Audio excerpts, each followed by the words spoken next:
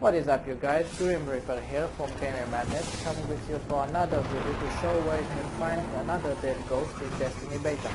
Now once you're in explore mode you need to turn left and go to the highway. That highway you need to go until you see that giant door where you see now.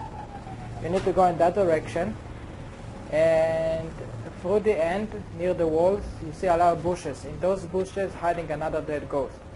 Uh, the particular place I think it's here and I hope I help you.